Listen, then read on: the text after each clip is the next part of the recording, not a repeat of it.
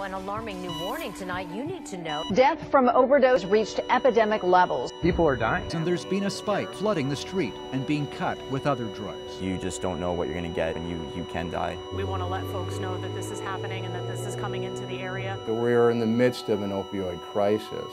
With a growing number of people dying, naloxone prevention programs should be expanded across Canada. Naloxone can reverse overdose from opioid. This drug may be an overdose cure. They can be unconscious, not breathing, and they wake right up. Works in minutes. This too has the potential to save the lives families and the futures of countless people. Toronto Public Health has handed 1,100 naloxone kits, and they've been used to prevent some 150 overdoses in the last two and a half years. Naloxone, a last-minute rescue